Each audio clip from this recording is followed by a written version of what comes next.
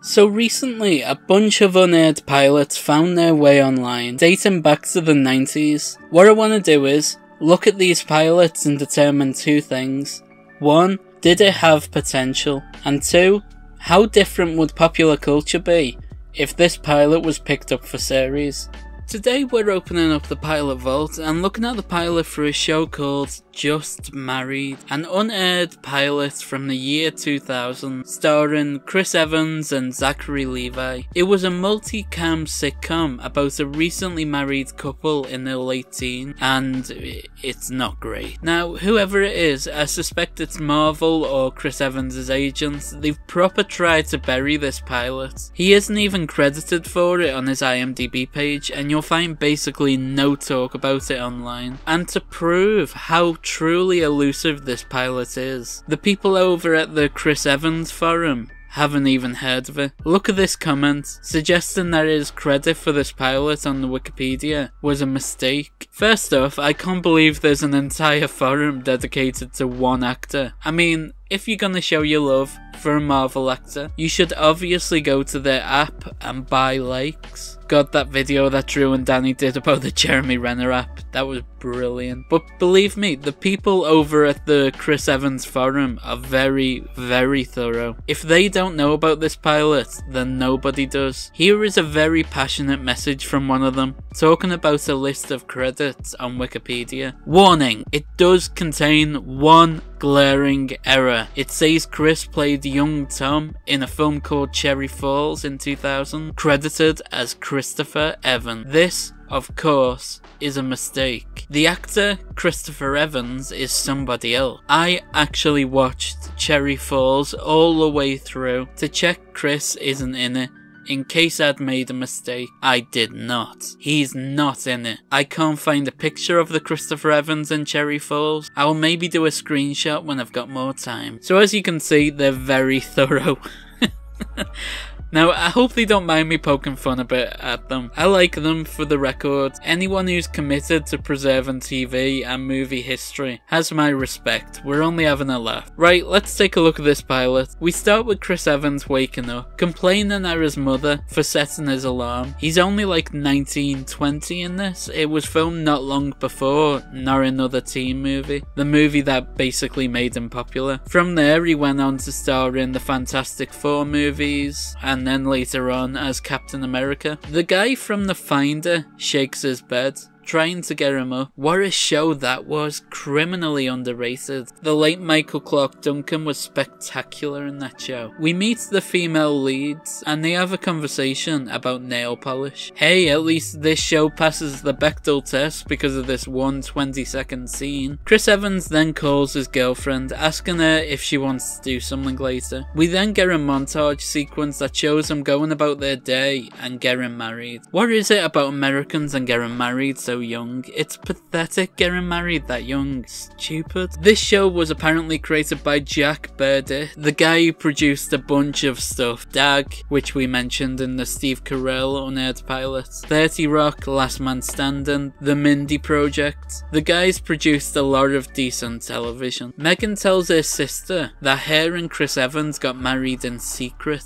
in Mexico. Then Megan's mum walks in and her sister tells her that the pair got married that night. Megan takes revenge by telling the mum that her sister kissed their cousin. What in the inbred American crap is this show? What are you talking about kissing cousins for? It's not funny. So what is it? Is it just the writer's thinly hidden fetish? Megan and Chris Evans go for a walk in the park, and to show us that they're in love, he gives her a really awkward piggyback through the park. This just looks uncomfortable. We then meet Zachary Levi, making this his second appearance on Pilot Vault. After the pilot for his show Imperfect perfect union. Hey look, it's Shazam and Captain America together at last. Or you could even say Captain Marvel and Captain America if you want. This guy playing one of their friends, he, he couldn't act his way out of a paper bag. Look how bad an actor he is. Hey, Owen's awesome. He's one of my best friends, but there's still a slight chance he might be evil.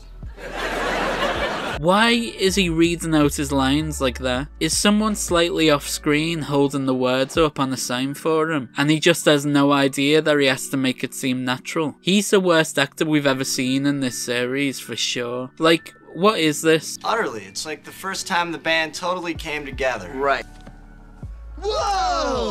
He must have went to the Keanu Reeves School of Acting. I know, I know, we all love Keanu, but he can't act and there's no point us pretending that he can. These two characters constantly try to justify getting married so young, even though it's a pathetic decision that they're not old enough to make. Chris and Megan try to get Zachary Levi to make them managers of the apartment building they own. This is, of course, the writer being desperate to make this show have something to it, other than two kids get married. Unfortunately, it's a really boring storyline, so part of me wishes he never would have bothered. The guy from The Finder announces that he fancies Megan's sister, despite the fact that he's Chris Evans' brother, so it's his sister-in-law. This show loves that kind of relationship, doesn't it? Actually, we never left. We're trying to set the record for the longest continuous game of pinball. That awful actor is back. He's so wooden and terrible. I hate him. I already hate those characters where the whole point of them is it's funny because they're stupid. We saw it in I Shudder with that woman. We saw it in Dead Boss with Helen's sister. And now we've got this moron. The parents of the couple come over and announce that they've booked a church so they can have a proper wedding. We are meant to be on the couple's side here, but